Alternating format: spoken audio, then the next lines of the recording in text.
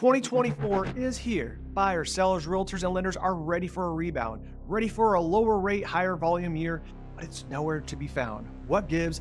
Let's find out. Ready, set, stall.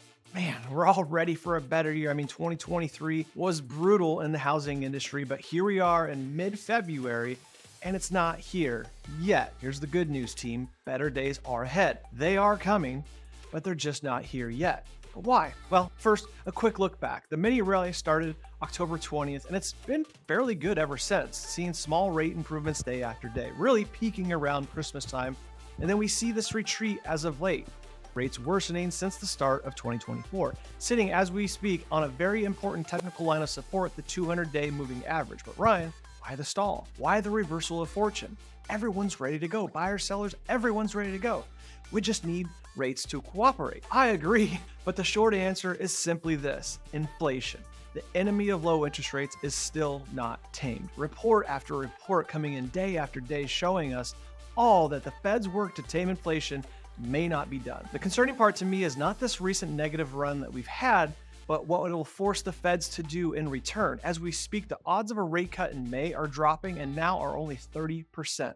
We've quickly gone from a common belief of six to seven rate cuts in 2024 to we're not even sure if we'll see one in June. The prediction that no one wants to see or even say aloud is we may not see any rate cuts. These inflation reports don't start to turn in our favor. This could easily keep rates where they are or even worse. Now, thankfully, there's a small chance that won't happen, but the odds of cuts happening in the near future are dwindling with every hot inflation report that comes out. Let's dig in starting with Friday. Red is bad, Green is good for rates on this chart. Well, Friday, a red day, PPI comes in hot. Wholesale prices post biggest increase in five months. Inflation fight not over. Another really bad day here on February 13th. CPI rose 3.1%. For those rooting along at home, we want the opposite. We want deflationary news. We're rooting for the exact opposite of what we saw on that day. Wall Street Journal affirming what we said earlier. The stock market tanked that day. We're not happy with the news either. As a result, stock market sold off and interest rates rose. The start of February 2nd and 5th, respectively. Second, 353,000 jobs were created, almost double what was expected with positive revisions to previous reports, I might add.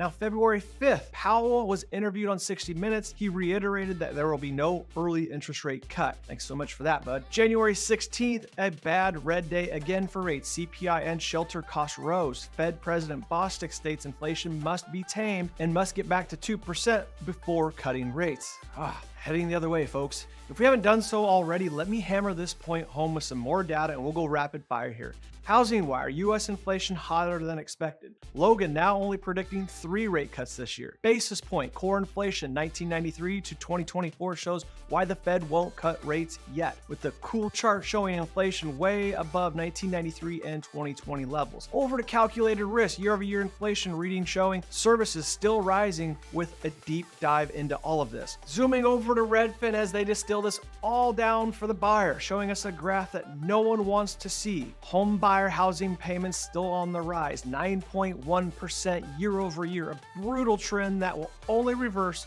when inflation is tame and interest rates come down. Team, don't kill the messenger today. There's a saying that I love to use that states facts don't have feelings. This is all just data and facts, but I don't know about you. They're making me feel a certain type of way right about now.